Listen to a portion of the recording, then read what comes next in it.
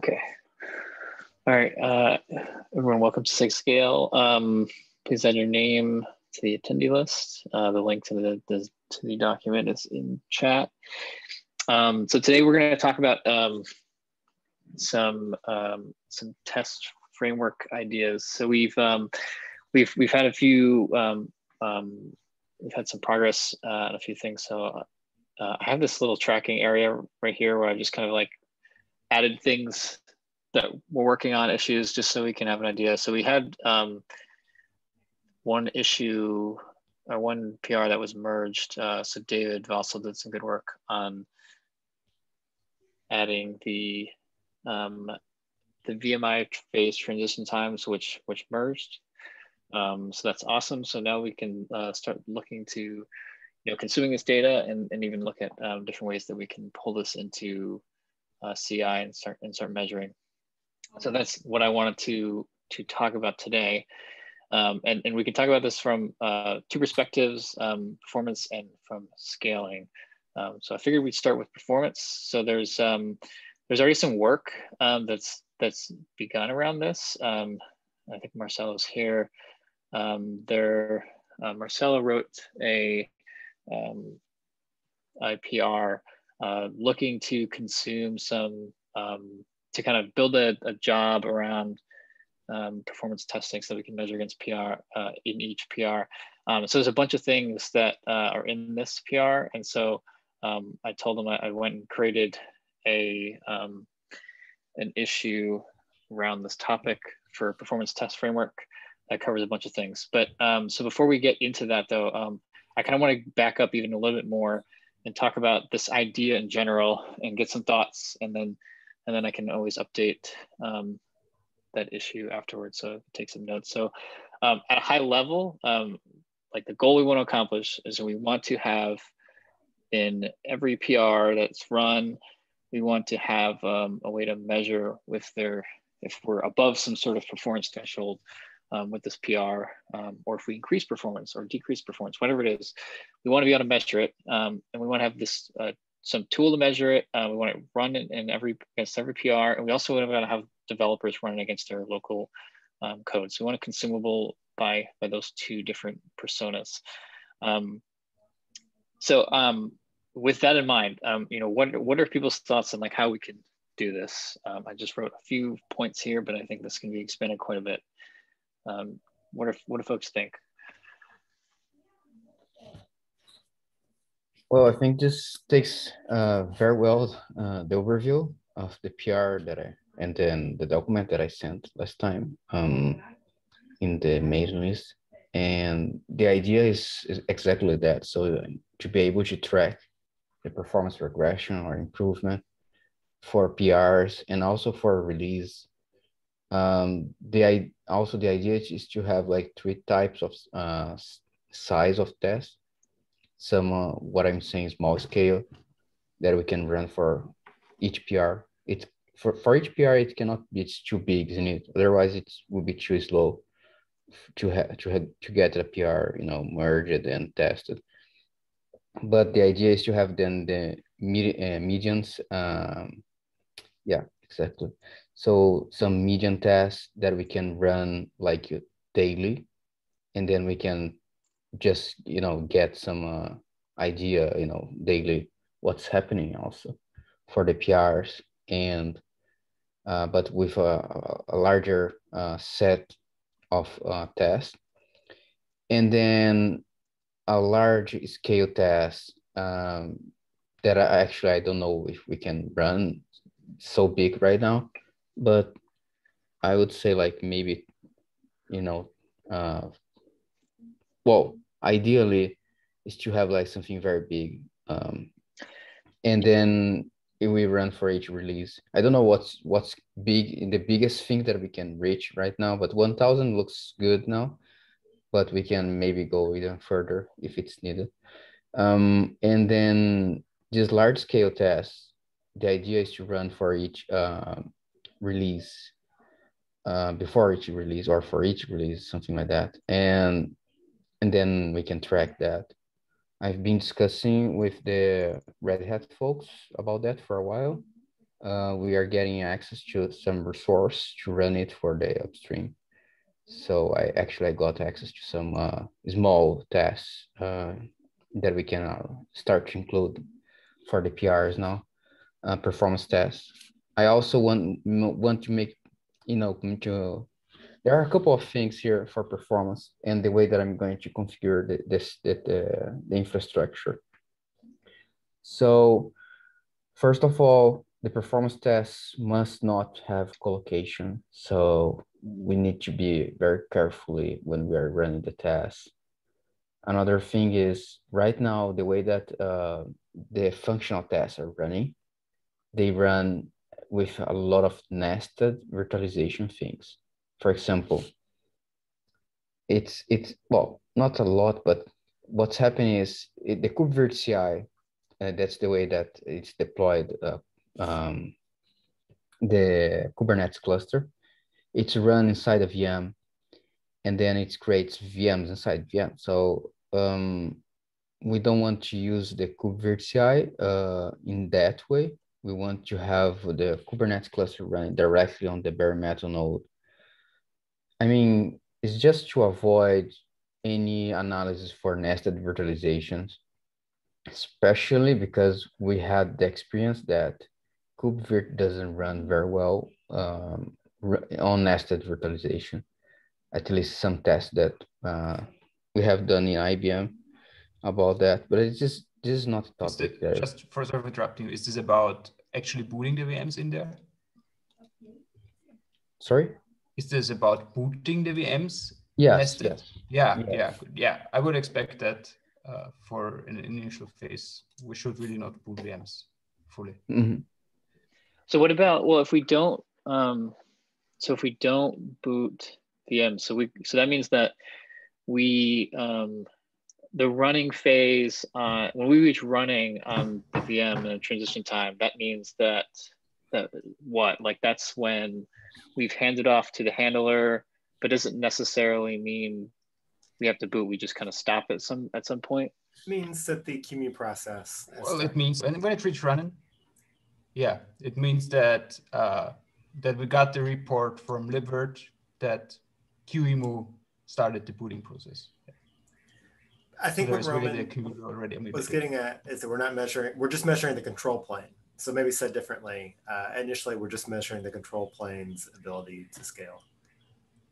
Yeah. Okay. Right. Well, so we could say, uh, so I think, so that's important. And I think um, I the way I view this is kind of like stressing the control plane. I view is more like the scale side of this, which I do want to talk about. Um, but like for pure performance testing, though, we, do we want to boot the VMs? Would that make sense? That sounds like we would. We have some. I, I had actually some discussion that with Roman. Um, well, I, I think both scenarios are, are interesting. So right now we decide to go to not boot the VMs and try to put as much as possible pressure to the control plane. Booting the VMs can bring some benefits, like it we can make sure that, for example, the network it's operational, everything it's working, everything you know gets exactly uh, allocated to the VM that should be. If we don't boot that, we, some some of these things we cannot check. Um, but it's fine for now because what I'm saying the plan now is to put pressure as much as possible to the control plane. And just to answer that, in the PR that I implemented was running, um, means the VM got the state running. And it just means that the, you know, start, the start command was sent to the KubeVirt, uh, sorry, sorry, the libvirt, and, but doesn't mean that the VM will actually boot. so. Okay. I think I understand. So does um does this have does this require extra work that like we like we prevent the VM from booting? Or is not really. It mostly just means that you give it uh, just a little bit of RAM. This means that QEMU comes up, the BIOS in SeaBIOS initializes and then kernel immediately crashes because it runs out of memory and then it's stuck. Yeah. Okay.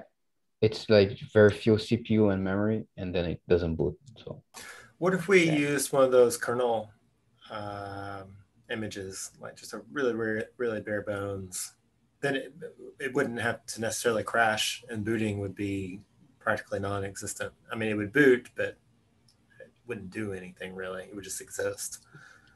I'm not sure. Whatever needs less memory and CPU, I would say. Yeah, well, I guess I'm just worried about the the crash case because we would kind of want to know if the crash is our control plane doing something crazy like Virt Launcher, like. Oh, but uh, uh in this case, Virt Launcher stays running if that is your concern. Oh. Yeah, okay, we have so no idea if the VM inside is booting or not. We just see QEMU is running and happy. But that doesn't we, mean we wouldn't get the traffic. We wouldn't get traffic from things like guest agents updates and the um, all the updates to the status as the as the OS comes up and goes later halts, uh, yeah, which sure, was seen. Yeah. But from a KubeVirt perspective, you don't need the guest agent or anything. So really just sure. that the QEMU process is alive is means the VM is running. And I mean, it really means that, but in this so case. You said progress. the word crash uh, earlier, so I might have misunderstood. Yeah, the kernel crashes. I but if the kernel crashes, that does not mean that the emulated computer is crashing. It's like if you oh. boot Windows and you get a blue screen. Got it. Yeah, as long as the QEMU, whatever it takes to get the QEMU process up and keep it up. Uh, yeah, as long that's yeah, exactly what this. Totally is. in agreement there. All right. So sounds like a really lightweight way we could just get a lot of VMs going. Okay, so then I, I guess so. What I'll, way I'll characterize this, and you know, correct me if you'll disagree. So I would say like we start with VMs that won't boot. Um, there are other areas we can look at here um, if we do want to expand this because this does limit the scope in that, like we like you said, um, we can't do any stuff with um, with the running like if we wanted to do like attach devices we wanted to attach a network we wanted to do like time to ip address or something like that we can't do that. And that, that could be something we could consider doing measuring in the future if we wanted to. So that could be an extension but maybe this is like the first step that we can look at the most mm-hmm. most um, achievable goal in front of us. So we so we could do um, yeah, I would say it's the least controversial in general because you don't have to care about the operating system at all and some considerations there. Which, like for instance, what happens with your data if you up, have to at some point update CirrOS if you're using it or Fedora version or whatever. Right?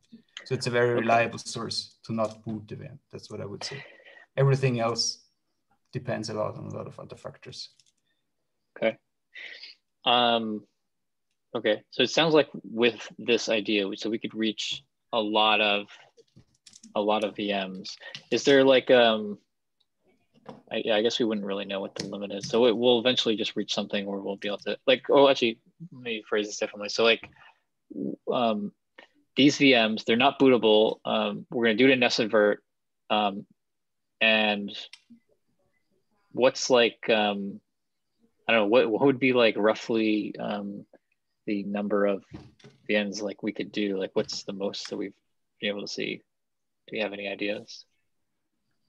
Well, so if we give like a, we can do some math, I would say. Like how many how many resource we can allocate. If we can we are going to get like one 0 0.1 from uh one CPU, then we can have like a you know, 10 VMs per CPU, something like that. Okay. Or maybe we can have also, um, you know, over provisioning of CPU. I don't, I don't know. Yeah. All right, I'll just say there's another question then. Okay. Um, okay, that sounds pretty reasonable. We can sounds like something we can start with. Okay, so we so we don't boot these VMs. Um, uh, things we want to do like we want to capture the metrics support um, PR performance center. So this would be like, so David's change, we have, we have all the phases, we should capture all of them. Um, and then we have some sort of report. Um, and we need to, we need also need to define this like meets performance standards. Um, yeah, I think this is something which we will just find out. So mm-hmm. I would expect that we start like with uh, running the tests three times, like with okay. 20 VMs, 50 VMs, and 100 VMs on the same kubectl configuration, the same cluster.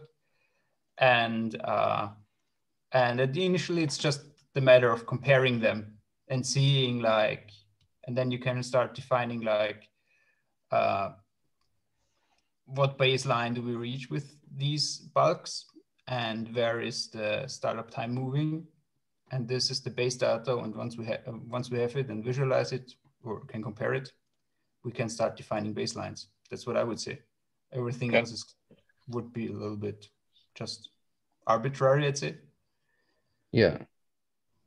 Okay, that makes sense to me. Okay. Mm-hmm. Um, and then do we want to talk about um, so that so this would be our first step. Do we even want to talk about this other stuff like defining the types of tests then? So we get a ba- we get a baseline metric um, and we I think we answer this question too. We figure out like how many VMs. Um, so I'm gonna put this down here. I would so even these... leave a question like VM density. I would even not try to answer that right now.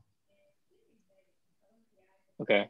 Yeah, there's there's a bunch of yeah, because I, I think there's like a we could talk. There's lots of types of tests we can do. So yeah. So okay. So first step will be. Um, so I like the idea of let's let's do some information gathering here. Let's figure out.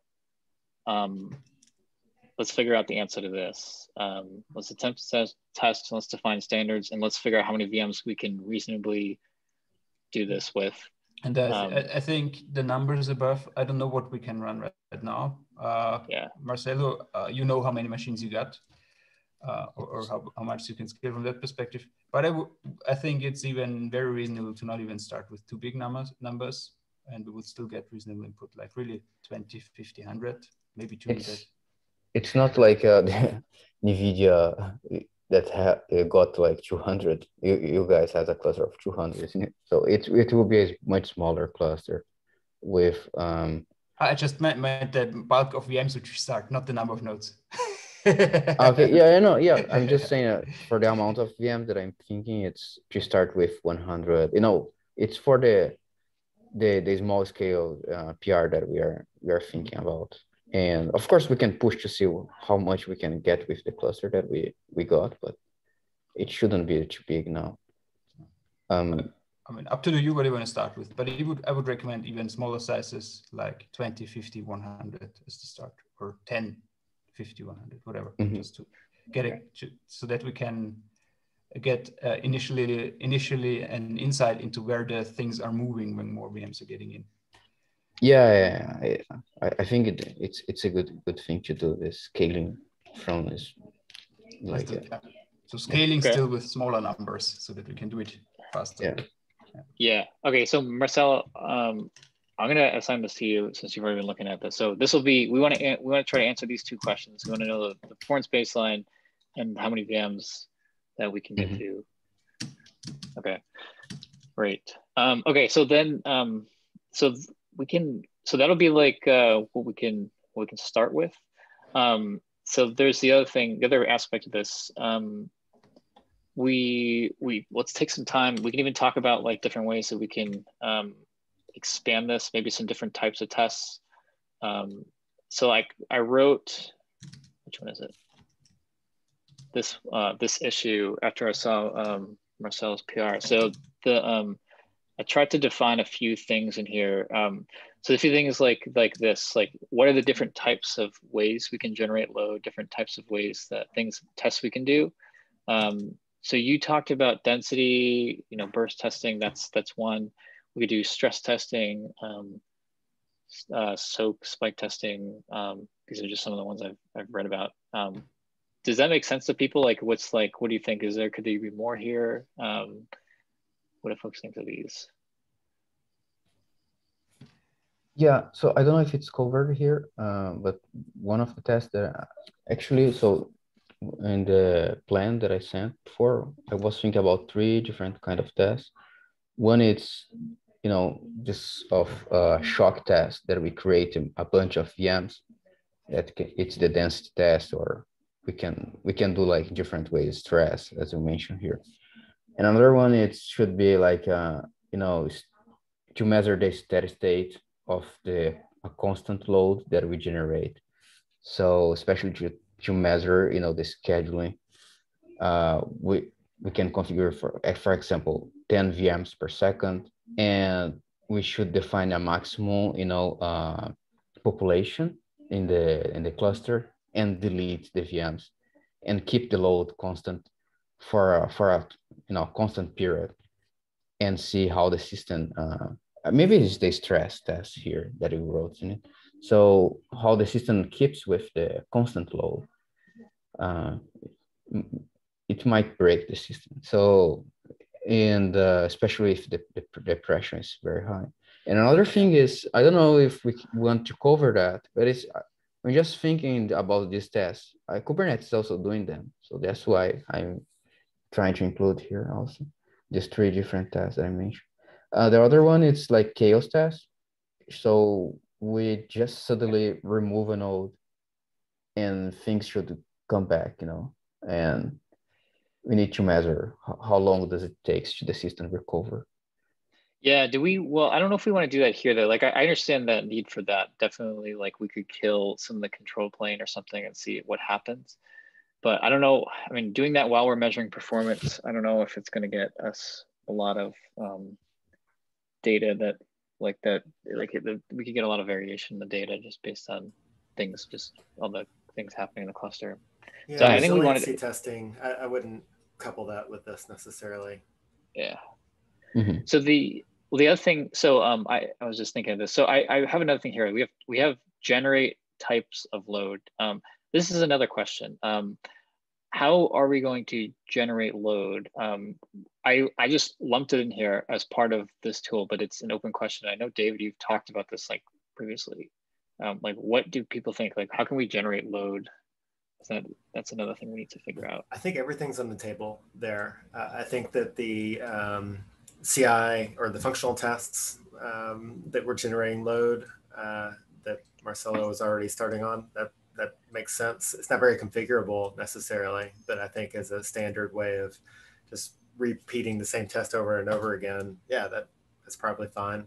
Uh, there's some other tools I looked at, like KubeBurner, uh, which it needs a little, like I need to submit a little patch just to make it wait on virtual machines to, until they're ready. But it allows you to create a repeatable config. So you would define a config um, with some VM templates, kind of, and it would um, start having ever many iterations of that exact same virtual machine you want. Wait until they all come online, then go to the next iteration, start like, you know, a hundred more. And like you can represent things like that. And even like the deletion of them afterwards. So you can, in one config, define how you want to um, kind of stepwise um, add load. Um, so we could use a tool like that. And I'm sure there's others as well. Do we, um, I guess so we can um, maybe leave this to some investigation. So I, well, okay, what would be the easiest to get started? Uh, Marcelo seems to be like, you've already have something. So maybe we can just start with that to see, just see like how it goes. Like if it, it we can just start with it and then, you know, as we maybe start to look at expanding it because we have other use cases, we can look at KubeBurner or other use cases as something that we need to be more configurable. Mm-hmm. Yeah. So just just to to give like very very high level background why I start to, to write it in a, as a functional test. Um, because first of all, we want to add, you know, um, in the KubeVirt CI, the, the, the jobs running. So that the, the load generator should be, well, it not, not necessarily should be in KubeVirt uh, repository, but uh, that's why we I discussed with Roman and he suggested to, to keep there. And it was, I, I, I thought it was more natural to add it uh, as the functional test as everything was in this uh, folder, you know, uh, test. And, and also it can be, you know, used like that. Um, and I've uh, I, I received some comments in the PR. Um, I think was uh, David. I don't remember now. So um, yeah, that was me. Yeah. So he suggested to actually um, separate the part that I'm collecting the metrics and make it like a, a framework. So as Ryan suggested, also you know to have this uh, performance framework and actually create like a tool that it I, I saw this KubeBurn KubeBurn is doing something very similar, isn't it? Um, but the tool can be something more or less what KubeBurn is doing for collecting the results. And then anything can generate the load, like uh, we were discussing. Um, the, the, the functional test or any scripts or even KubeBurn, just, just generating the load. But I think it's would be a help like to to keep the track now to have like this uh you know um functional test to create the VMs and then we can just test verify some uh, thresholds and actually the test will fail. So this kind of structure that helps you know to have the PR the the performance test in the KubeVirt CI so that's why it's good also to have it in the uh, as a functional test well, is there a way to get the numbers without like because I, I, I do like the um because to me, like I said on the comment, like we one of the goals we we want to have a framework. We want it to be so that it can be usable in CI or by users.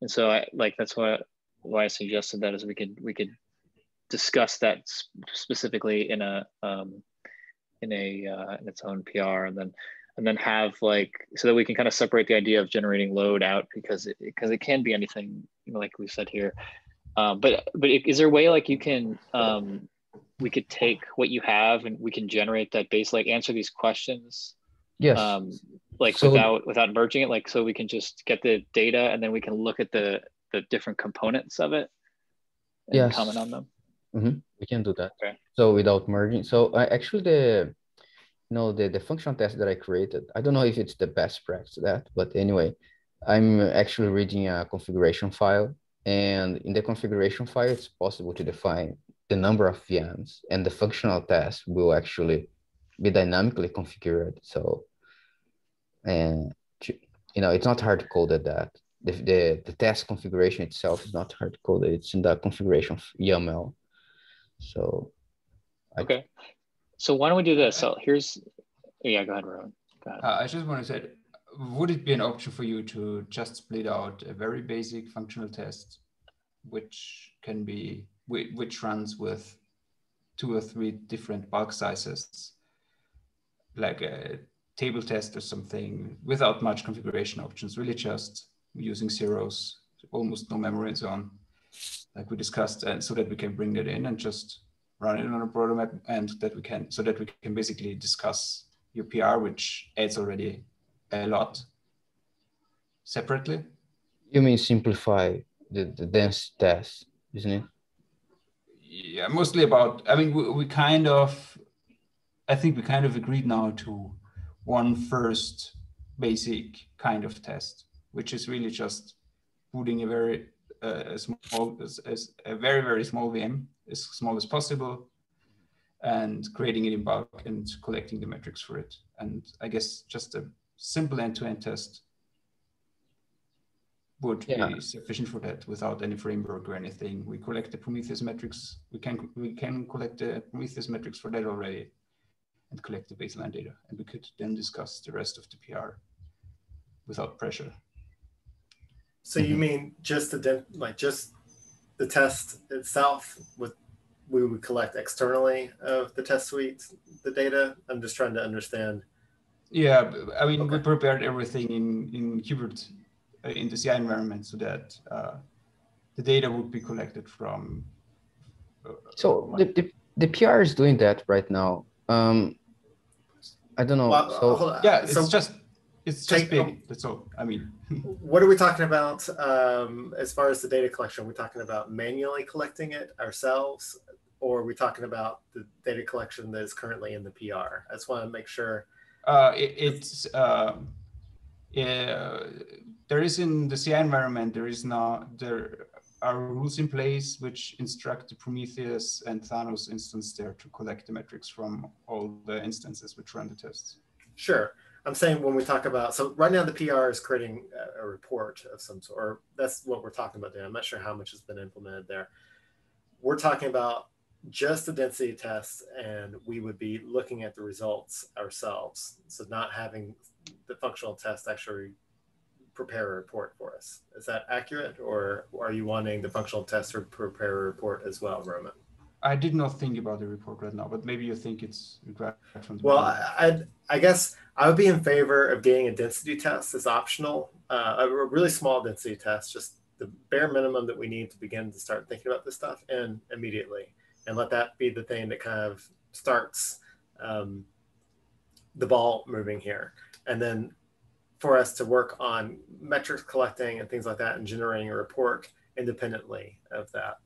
Uh, I, I do agree that I think we're lumping a lot of stuff into that one PR, and it's going to be difficult to get merged because it is so large and there is yeah. enough contention on exactly how to proceed. Mm-hmm.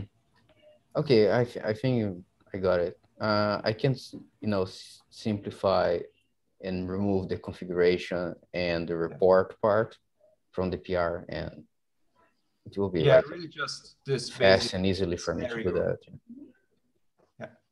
clear and easy without many configuration options, which for sure will come in the future. But mm-hmm. so, I, I, think by the way, so in, just one, oh, sorry. Yeah. yeah. So in the PR, I I'm collecting like uh, different things. Okay. So first is the VM creation time. And another thing is the resource usage for for the memory and CPU. And things, for example, that I'm analyzing, um, I give like uh, the for the VM, each VM, in each VMI, 0.1 CPU uh, request, okay, and limit. And then I get like the resource users of the pod that it's, of course, many containers run inside. And in my very simple test that I did, it was using the double of the CPU that should, it was allocated for the VMI. So something else, uh, virt handler, and maybe something else that it's there in the pod it's consuming uh, you know some overhead of CPU. And this kind of things that I thought was important. That's why I'm collecting this. And and then uh, do I still co uh, collect that to test, or do you guys think that this PR should have only the latency and not the resource? I think that the PR should just have the density test and not the anything with metrics collecting. Yeah, I agree to that. And I think that when we look at the metrics collecting part, like if we look at an external tool or whatever, like I mentioned maybe in the tools uh, directory, we'd start with just a single, something really, really simple. Like just the very, maybe we just start with transition times to begin with and create a report that just shows that. And then we keep expanding that and introduce uh, memory and CPU, uh, perhaps, or, or other things we're interested. I'm just saying let's start small uh, and add on uh, as we start getting more data in. Okay. Yeah, I think it makes sense. Yeah, the, the purpose is really just to avoid that this PR just sticks there forever uh-huh. and delays everything. Yeah. Yeah, yeah. Right, I'd, I'd, add to that number of API calls made um, a VMI or something like that. Yeah, um, yeah, I agree. I, there's like a bunch of them. Um, so yeah, I covered this, um, Gavin, in like the um, like I have I have listed three here, and it, like the one of comments like I mentioned is that basically everything that in this PR could be a threshold test, every single thing here. So yeah, like, uh, but um, but like like like we're saying, like these are we'll we'll get there. So I'd like the I like the idea with starting. Um, let's start with uh, that simple density test, and then we have all of this that we can expand to. So that's good. So for I think for the you know in the KubeVirt CI, we don't have we don't need to have like too many thresholds um, metrics, but it's just some key ones. Uh, I I don't know if you guys saw. I I started some time ago to do like uh, just a document for, you know, defining just um, what should be our uh, SLOs for the KubeVirt. So, you know, for example, VM creation time, it's one of the metrics that we should pay attention. And I don't think we should have dozen of them. It's too much things, you know, and, and get complicated to, to analyze and see, even though some of yeah. them represent the same thing. So uh, um, I would really suggest to just start with the transition times, which are pretty clear that they're important. Yeah. And then we can look at where to expand. Um, yeah. Yeah, Marcelo, we have, so I'd say, Marcelo, these are the three things um, that, that have for action items that you can take here. So like we do the, so we look for the baseline, we're gonna figure out how many VMs we can handle in CI. And then we take your PR and we, we break it down to a simple density test. And then we, we then come back and we look at separating this out um, into a framework, which could then include all of these things. Mm-hmm. So that'll be part of the discussion. Yep. Just okay. one last question about uh, the framework. So okay. should the framework should be like a different repository, like KubeBurn is doing, something like that, or something can, inside KubeVirt? So we can talk about it when we get there. I think like the I think when um, I think that's something that that'll probably be a good discuss good discussion topic uh, maybe for next meeting. If we ta- mm-hmm. after we get this data, I think that's something. Maybe after like two weeks go by, we get we get that information, and then we start seeing okay, here's how we can expand on this. Then I think it will be a little clearer um, what we should do. So we can take that for an action for next time. I'll leave it as a question here. We have a directory for just kind of one-off tools. So we can start if it's just for convenience, we have a build system and everything uh, in KubeVirt. We can start in the KubeVirt repo and just as the path of least resistance. And then we want to uh, separate that out of the KubeVirt repo later on. I don't, I don't see that being a problem. Yeah. Okay. I think the, this sounds pretty good. I think we have a plan to go with this performance test framework um, and the density tests and get things kicked off. Um, so that makes sense to me. Okay. So I, I'll um, I'll do like some of the tracking here as best I can. I just kind of use issues and tag things. Um, but if I oh actually this was another thing. If we um Marcelo, I saw you you labeled this six scale. Do we do we is there like a label we can add for like um scale? Does that make sense to uh, people? Uh, I can yeah. I can talk uh, with the well actually Roman is one of the guys so the CI guy so I think makes sense to add that. Yeah, I was thinking we could have some labels and then I can just filter for like what is uh, some of what we're doing. It can make it easier. Okay. All right. We should um, be able to add labels yeah. like that just as the Kubernetes group has like sig.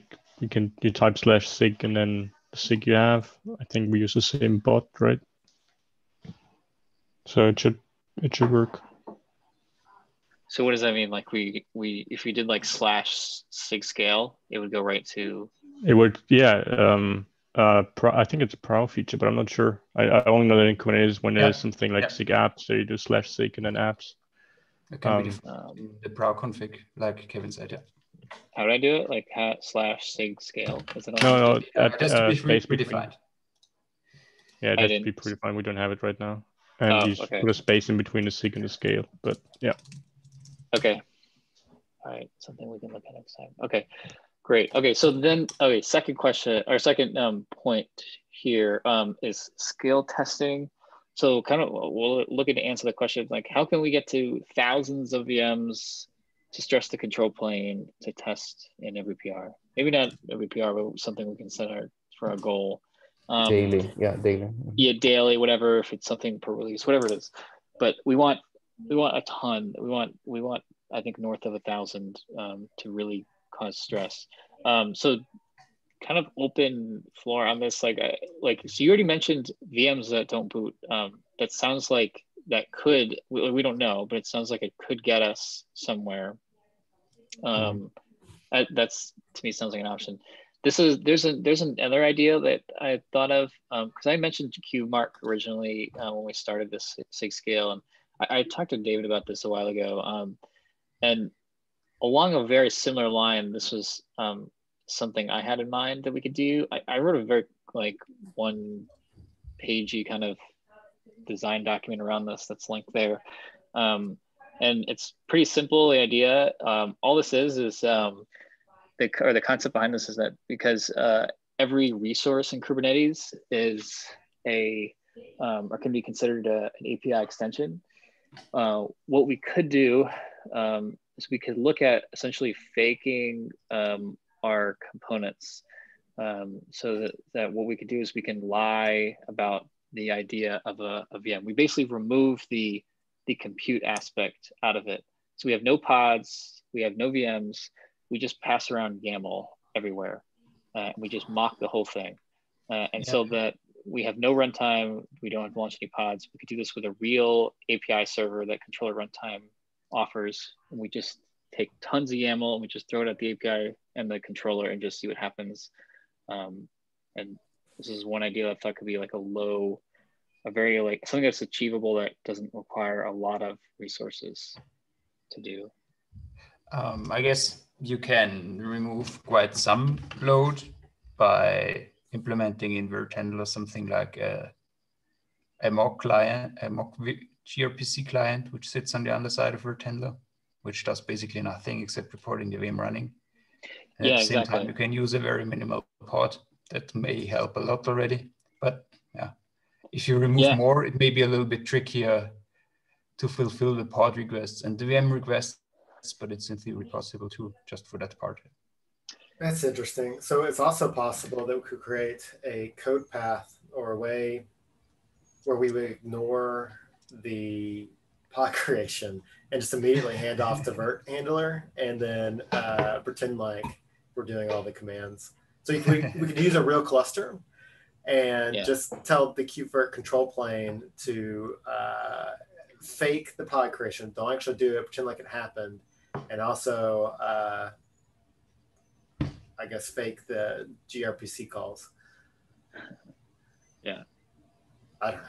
That's yeah. No, I, like I think the yeah no, I, like the idea would be that we the idea would be that we like when if like when looking at what's happening in at this level right here in the middle um it's we're basically we're moving YAML around right and and so the idea is that it doesn't matter you know if these things actually exist as long as there's YAML these things are are stressed out and so if we can create as much YAML as possible you know or what's the way we create as much YAML as possible we just we just don't have any compute because we don't need any resources so yeah, we could fake, you could do, we could fake it here. We could fake this whole thing. I mean, um, yeah. And then, yeah, those are all ways we could do it. I brought this up internally at Red Hat with uh, some of the OpenShift folks. And the thing that they passed along to me was that it, it gives you something. So KubeMark um, gives them something, but uh, the reality is so much more complex than what KubeMark reveals that it there's so many variables involved that the reality doesn't necessarily match. So we could create something like a KVirt, and I think that that would give us an idea of something, but I'd be careful about trying to say that, that means uh, we, it may or may not match reality is the best way to say it. I guess what we could yeah. say with the, uh, yeah, we the, the main code paths don't have un, unintended bugs, I'd say, right? Like you can say, yeah, it's reasonably fast normally.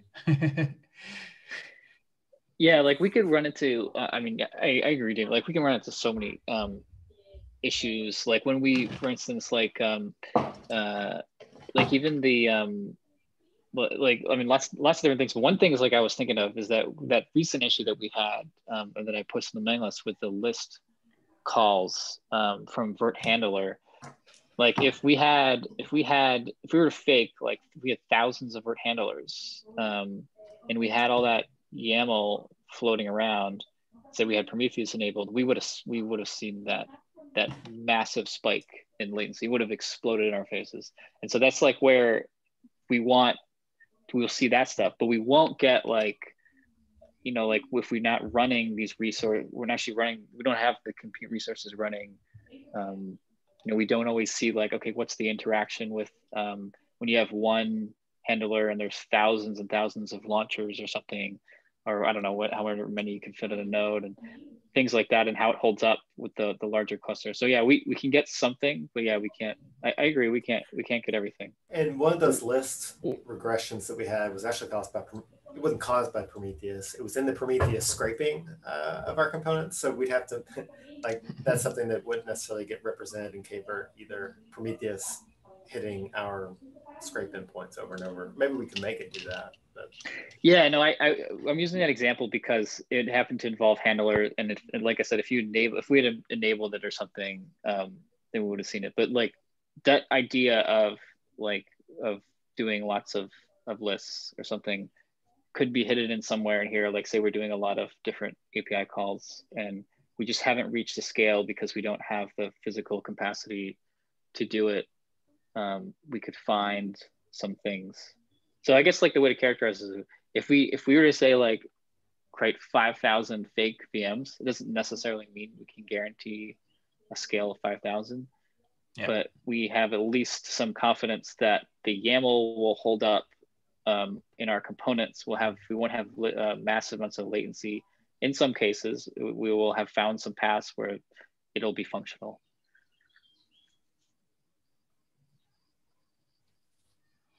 So it, yeah, it's just another tool. I would say before like we before we we go down this route, it probably makes sense to collect some data on the smallest sets. Yep. Um, if I think if we we we we are good in interpreting the data, I think it's possible with the smaller sets to see tendencies like okay, with the number, when I start 100 VMs compared to starting 10 VMs, I see that some lists, gets or whatever grow more than they should and stuff like this. Mm-hmm. Yeah. So, yeah, I think I, I don't remember if kube you know kubemark doesn't doesn't have kubelet running in the node. I think what it is the pod creation needs. It's like the container runtime, but the kubelet is there running. So it, I know it's not the same thing, but I, uh, I kind of considered like the kube launcher and the kube handler to be like something like that. It's not. It's the libvirt. Uh, sorry, uh, the lib. Uh, the libvirt is our like runtime, isn't it? So then I think instead of fake the you know the the kube hand uh, the kube handler and the kube launcher, it's just maybe fake if we need to go for this direction. Okay, if we want, but just fake the lib you know the libvirt uh, itself to create the VM and and do not exclude you know some uh, key components that KubeVirt relies on. Yeah, I mean, yeah, it makes sense. Yeah. Yeah, this I, I think I think like you know you talked about not booting. Like I, I think these are all good options, right. and we we want to see. Let's find what our limits are, and then you know eventually we hit some limits. Uh, it sounds like the the no boot option is the easiest one to start with, so we should start with that. And if we hit mm-hmm. some limits, um, this is something we can consider um, as just a way that we can get mm-hmm. tons of YAML and just see what how our control plane handles it. So that that's that is an additional option, something we can we can keep in mind. Okay. If I think about uh, um, our setup, I think that uh, that setup is quite likely to show up pain points in uh, things like the mutators we have and so on, uh, uh, some of which look potentially single-threaded in places and so on. Um, so I think it'll be valuable for that, you know, even beyond the core components, um, all, all, the additional stuff we're, we're adding and is likely to be added in a, in a production environment. I think we'll highlight problems in those quite quickly.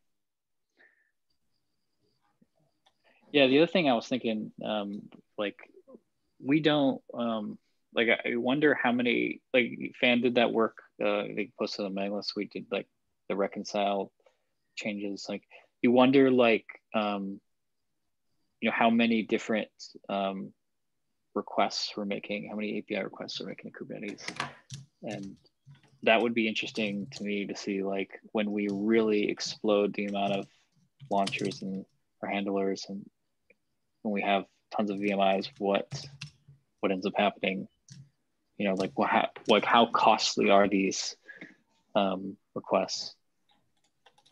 So things like that, like we can get we can get some numbers roughly, like that that stuff would still hold, like the number of API requests, like we could find that um, this way, if something we could know that that's a problem. So th there's some there's a bunch of things that we can I think in here that we can learn. But yeah, so we'll start with uh, to kind of circle back. So I think I think it makes sense. We start with this. I think this is a good way to get things off the ground, and then um, as if we hit a limitations, is something we can look at expanding to.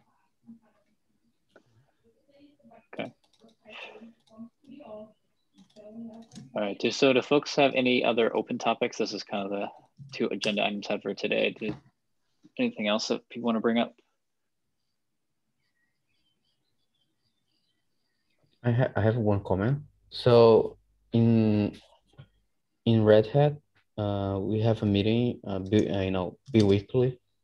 Uh, it's it's also like a meeting for scaling performance, but it's more for OpenShift. Anyway, so I some uh, I I joined this meeting normally, and I think some guys here also do that. Uh, I don't know if it's possible. So it's bi-weekly. So if it's maybe, uh, and normally it's happens at you know uh, the same day as this meeting is happening. Um, I don't know if it's possible if for you guys for this meeting here because the other meeting we cannot change. It's a lot of of people that doesn't want to change. But if it's possible here, uh, just change the you know which which meeting uh, which week this this meeting it's happening.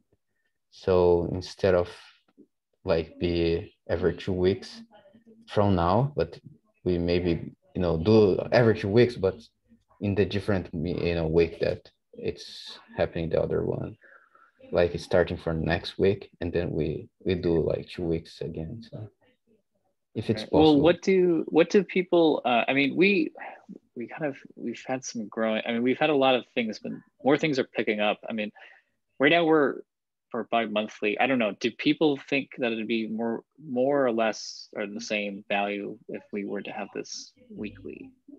Like we could do that and then we could get um and every no, other schedule i'm saying bi-monthly sorry I, I i used the wrong words so i'm saying bi-monthly it's okay it's just like uh, the the the way uh, the yeah. week that it's happening that it's like colliding to another meeting that I have. That's yeah, I understand. monthly as well. So it's what I'm saying is that is a possible solution would be that we could have it. Um, well, maybe, oh, maybe that correct me if I'm wrong, but if we were to go to weekly on Thursday, I, what I, my understanding is that you'd be able to. It wouldn't conflict every other week, right? Mm-hmm.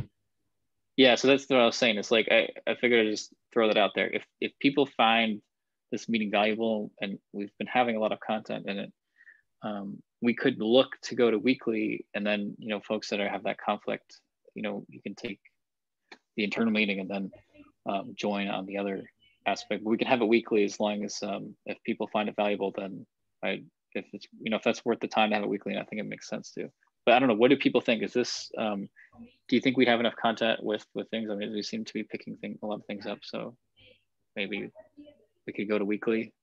I guess at this think? moment, weekly might be good and later reconsider then. And I mean, if and one week the content is less, then you just stop earlier, right? It's not like you have to fill up the hour. Then. Yeah. Okay.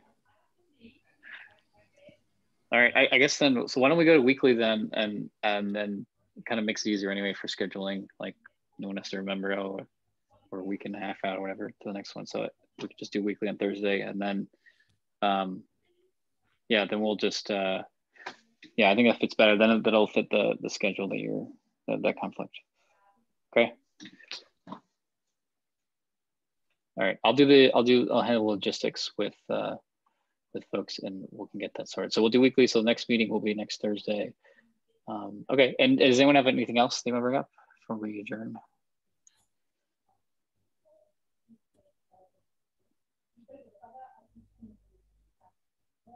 Okay.